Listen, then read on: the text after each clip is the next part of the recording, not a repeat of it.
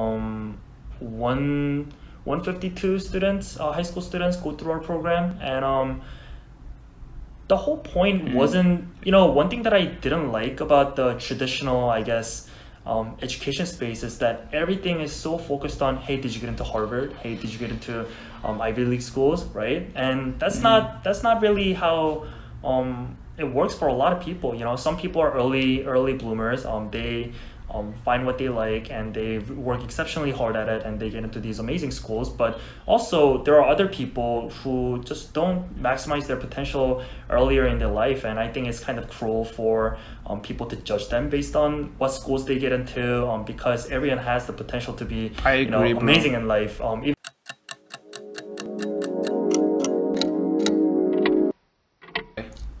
What's up, guys? Welcome back. We're here. We've got another episode going, and today we have someone who is super exciting. He's done so many things across the board, and I really can't wait to talk about it. We've got Sean Kwon with us, who not only just graduated from Vanderbilt, well, congrats on being a May 2020 graduate for starters. I know that's tough because I was there too, but he studied human and organization develop, organizational development, and on top of that, he's done a couple of very notable things, including starting a nonprofit, currently having his own startup called Airsip, and also working as an EMT, all of which are just super great great things to do, especially as such a young graduate. So I think it's super impressive, and Sean, we're super excited to talk to you. Saad, why don't you take away the plug before we go any further?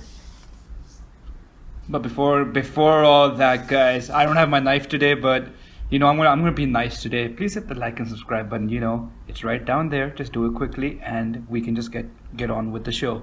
So Sean, what is up?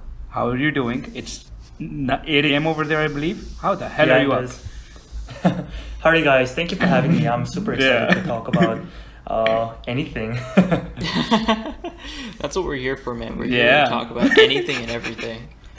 But, dude, let's jump right into it. The thing I'm most excited about, or not the most excited about, what one thing I really admire is that you said you're you were an EMT, and how did you become an EMT? How does that happen? Because I know it's it's a really like respectable thing to do, but I'd never know how to become one.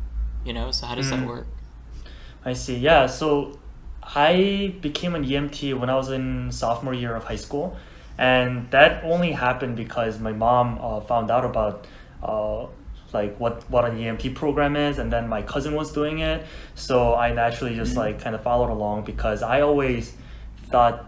You know, I'll maybe I'll become a doctor, or maybe I'll be working within the medical profession. So I thought Oh, it would okay. be a good idea to kind of get that early exposure. Um, all you have to do is just sign up for a program.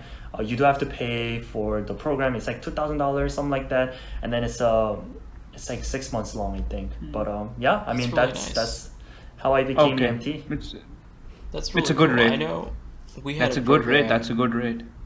So I don't know if you remember, but we had a program back in high school where um, we just had a teacher who happened to be We did. Um, First a aid. licensed, a licensed, uh, like a first responder or something. But he held a training class where he Fuck. got a bunch of our I don't know, s- man. our students licensed as first responders. So it wasn't Yeah. about like riding in ambulances, but it was giving people the same trainings to figure out like the scene of an accident. You are like medically capable of Yeah. actually helping someone out, and it was super That cool. same but teacher, by the way, that same teacher, by the way, that same teacher now has a startup. It's called Saving Nine, and what they do is they go around all across the country teaching people in rural areas how to how to take care of basic emergencies. Like if a person has a broken leg, how to transport their body into the ambulance. If That's a person's cool. passed out, how to carry, how to carry them into a, in, into a safe position and all that. So all the basic things that I'm pretty sure you know of, but not but the general population doesn't really know know anything about it's their mission to like you know just make generally aware the aware the population of how to take care of somebody in a in a bad situation.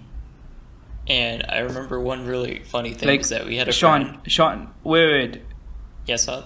Yeah. take it away, take it away. You you take Okay. it away, and then I'll and then I'll go. You take All it away. right, I'll sorry, but we had a friend who was in this training program, and I remember not too long later, a couple of months after the program ended, we'd all taken a trip to another city for a uh, just a theater festival.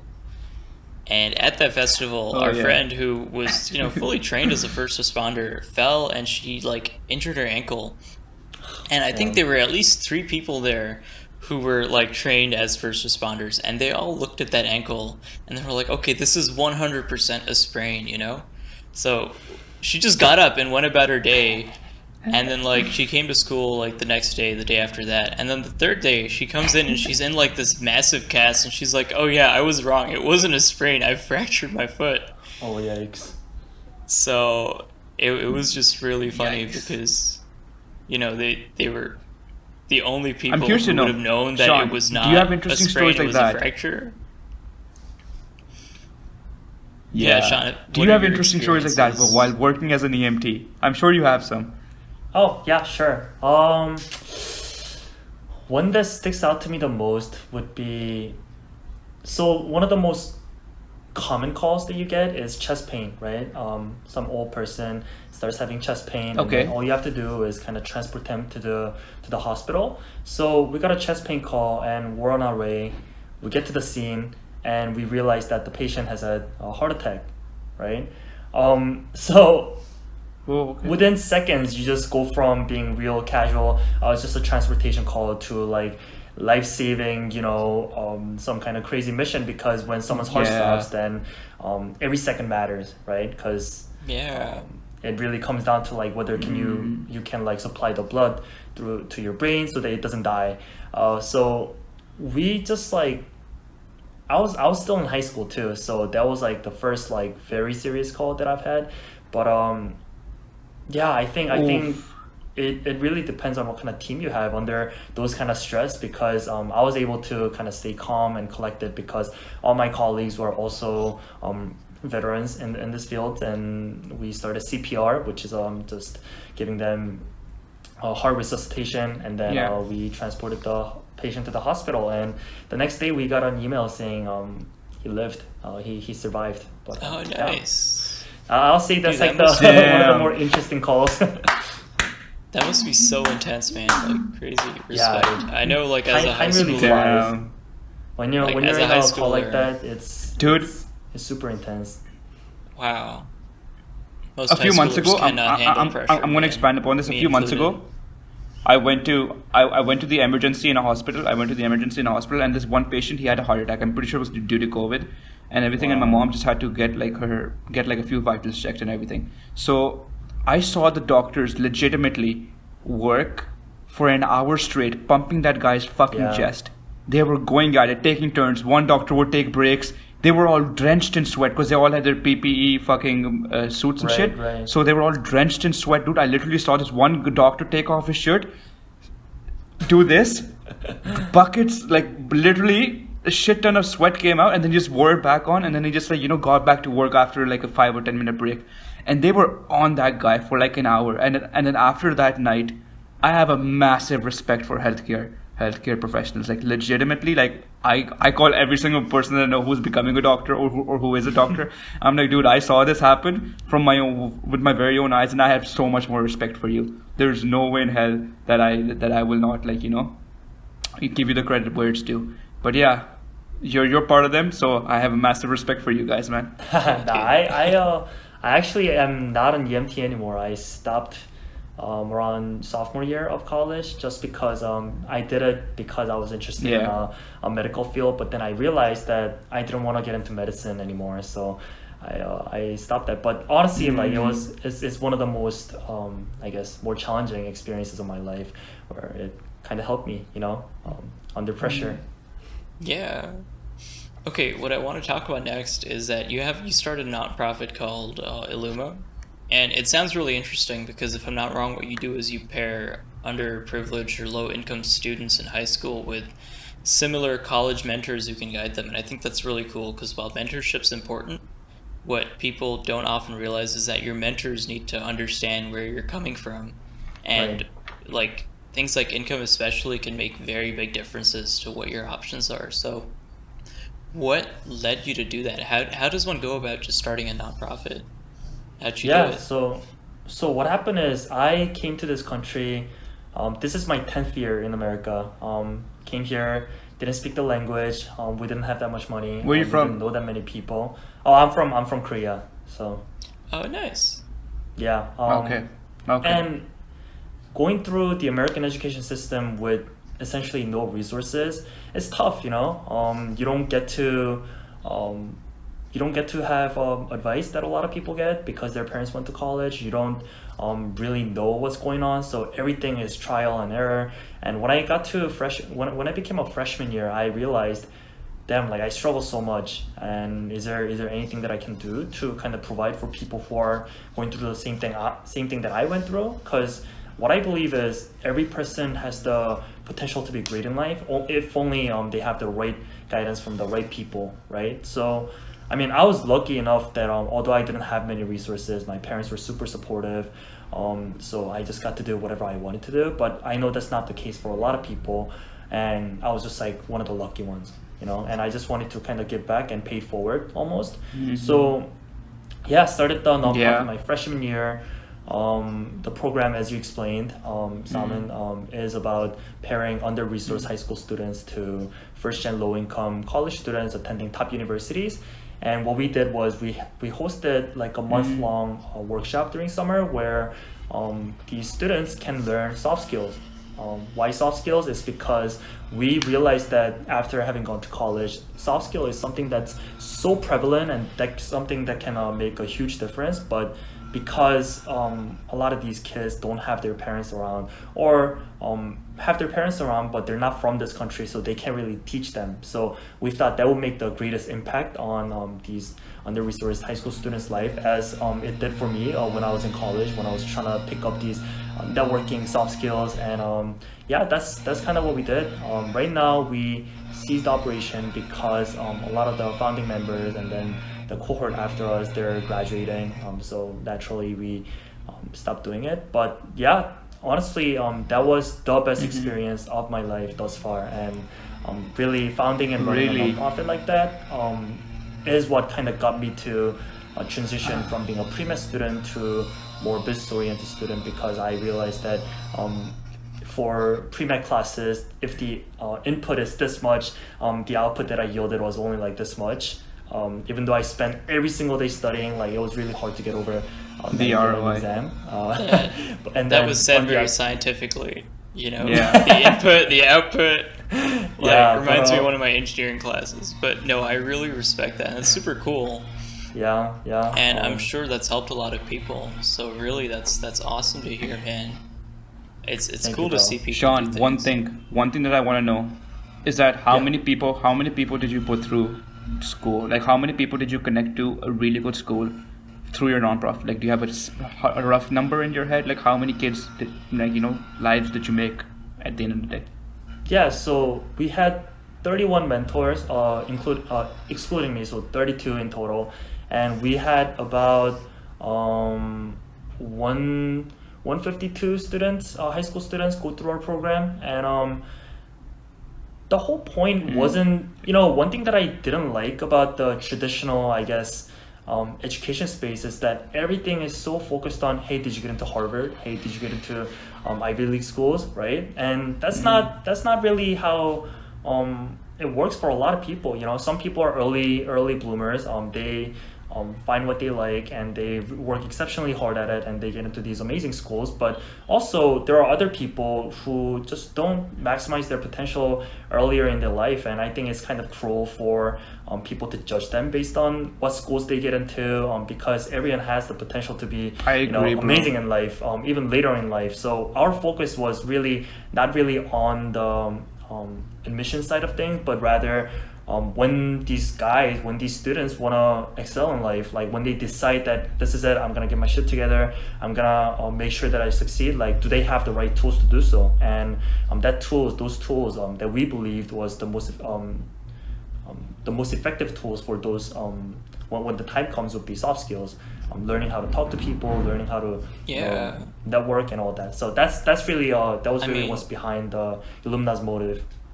Hey, I can I can say for sure that that's a really important thing that people don't notice because all the hiring managers, like at my internship and otherwise that I've spoken to, they're all about soft skills. Because if you go to any half decent college, you're gonna learn maths, physics, whatever right. technical skills you need. But being able to talk to people, being able to be part of a team, networking, those are the real skills there that'll get you anywhere and it's super cool to see someone help kids focus on that you know as early as high school because that's what a lot of people are missing so that's, yeah. that's Sean, really great sure. there straight up, str- straight up. I was just uh, I I think about this a lot. Like, what were the misconceptions that I had in high school that I would have that if I could go back in time, I would tell myself to focus on these few things. And one and one of those thing one of the few of those things are learn to talk to people learn to shake everybody's hand in a room and and make eye contact with them and let them know who you are so that you can establish a relationship with them.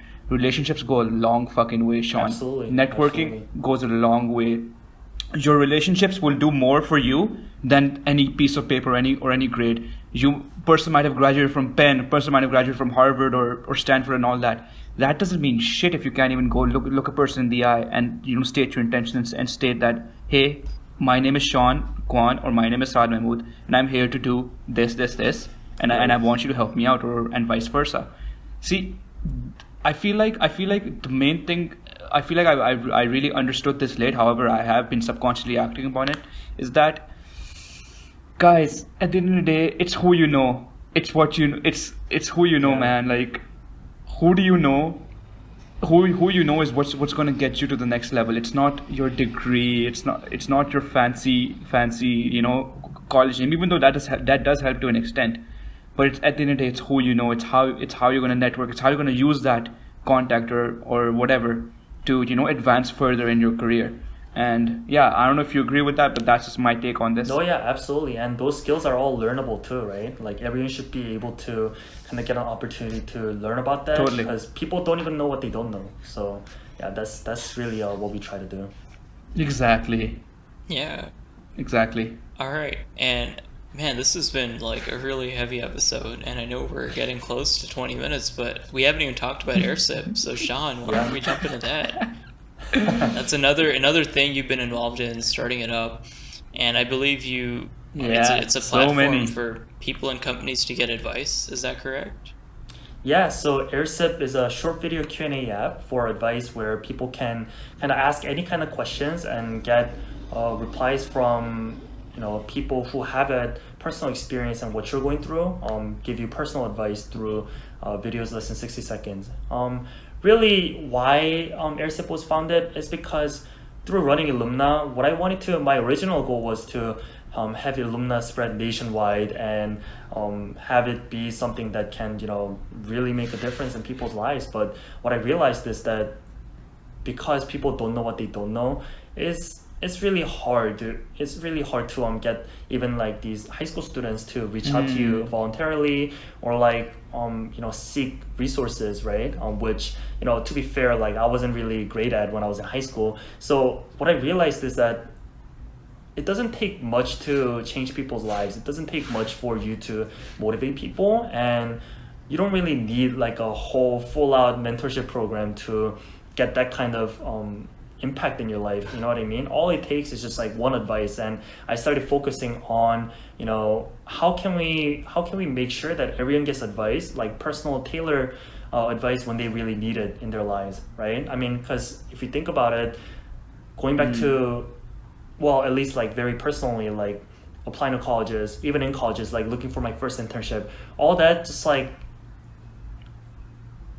a lot of embarrass- embarrassing episodes uh, they involve me um, kind of getting through uh, stuff and then like learning it and what would have really solved the problem was if I had someone who know who who have been through this, um, giving me advice on what I should do, what I need to do to kind of cut corners or like save time on certain things. So that's really what we're focused on. Um, like an example of how things work on AirSip is, let's say like an incoming Vanderbilt freshman um, can ask like, hey, what does it what does it feel like to live on freshman campus? And someone who's already living on campus can give you like um 60 second mini dorm tour on what it feels like to live on campus and a couple tips on you know what's so special about this college or you know whatever. And another example could be um, let's say you just got into weightlifting right? Um, and you want to you want to get some feedback on your um, form. So you can film a you, you can record a video of yourself doing like a squat and ask hey can i get some feedback on my form and someone who's good at mm-hmm. uh, squatting can kind of reply Okay. with a video saying hey you can improve in these and these parts So- and like That's this really is the smart. proper form So is it like a social media app? Is it a It is a social, social media, media app? Is that what it is? because Because uh, that's what some. It is a social media app, right? And mm-hmm. and do you vet people who who give advice, or, or can anybody give advice? anybody anybody can both ask questions and also uh, get advice. Dude, I think that's And- really Alright. cool. All right, all right. that Um, is that is that's an So interesting way my to go. my thought Okay. is, so since you're starting up, are you focusing on like a particular thing, like oh college students in particular, or because I can imagine like people in all industries would one day want to use this app, right? But Right. obviously it'll take time to reach a point where you actually have someone who can answer their questions. So are you starting out with like a focus Yeah. on college students or something like that? Yeah, we're, we're definitely starting with uh, college students. Uh, more specifically, we're starting with Vanderbilt student uh, at the moment. Um, the reason being, like, uh, Salman, All you're right. right that uh, this is something that could be The used Facebook by approach. anybody, right? yeah, Facebook approach. Um, the yeah, Facebook it could be approach. used by the Facebook but- approach. Harvard student. Harvard students co- inter like you know Harvard students were used to use that social Right, media right. app to network with each other in, on the inside, and then eventually it expanded out. Um, You're smart, Sean. You're smart. Get Zucks You on know- your side. One thing about social media, especially new ones, is that it's really hard to get people to use it because by definition network is something where Oh, um, yeah. you only get true value out of it if there are a lot of people on it but then how do you get a lot of people on it if there's no value so it's kind of like a chicken and egg problem and how we try to solve it uh, me and my co-founder will Mm. um, is we wanted to migrate existing communities onto Air, AirSip so um, AirSip is very much a commu- community-driven uh, social media, kind of similar to Reddit in that way. Um, we have I see. communities which are similar to subreddits. Yeah, I was gonna say Reddit. Okay, very nice. was That's gonna what say I've, Reddit. I've been thinking the whole time. Super cool. Yeah, and uh, we, we what Yeah. we're doing right now is just making partnerships with student organizations so that they can kind of we can kind of migrate each community onto our platform so that it's like lively and then it's engaged without me even you know begging them to yeah can you please use our app you know what I mean so that's that's kind of the approach that we're taking right now. yeah, yeah, yeah. That's that's super cool, dude. I think Smart that is boy. a great idea. I really hope that works out, and I'd love to use it one guys. day in the future, man. Dude, But guys, on that note, we've dude, hit I 20 feel, I feel, I feel like one way that you wait, wait, wait, Okay, wait, take wait. it away, Saj. Take it away. Take it away. I want to say one thing. Sorry. I want to say one thing. yeah Yeah, yeah, yeah. I want to say one thing. Um, Sean, have you thought about um using using technology that might be readily available in the future to your advantage right now? Like you guys could introduce a VR section and nobody's using, like Facebook isn't using or or Instagram isn't using. Maybe you can use a VR feature into your app right now, which you can work on and expand. And, and by the time VR becomes like you know widely accepted, you guys are already ahead of the game. Have you thought about things like that? Yeah, um, I think VR might be hard, but AR, augmented reality, um, is definitely something that we're really interested in because Yeah. um, the thing about videos is that you Alright. kind of have to put yourself out there, right? Some people don't feel comfortable doing that. So what we're thinking would be Mm. really great is um, if we can have something like Snapchat filters on our uh, platform so that like people look at least Mm. people feel confident when they're posting videos. They don't need to like um, I don't know I like see. get super like like ready and then, you know love you know what I mean. Um, so Yeah. yeah, that's something that we're Yeah, thinking yeah. about. But I totally get it, obviously, man. obviously the challenge is uh, uh, because it's me and my co-founder, and he's the Will, my co-founder is the only person who's coding. Uh, the uh, time, time, and also Yeah. just It's um, tough. Resources is uh, Yeah. not there yet. So yeah, That's that's we're- probably we're- something you could do in the future. Dude, I wish you the best of luck, man. Yeah, thank you Good so luck, much. dude. I wish you the best of luck, man. And on that note, guys, thank you so much for tuning in. Thank you so much for tuning in. We're done. Peace. Adios. Goodbye.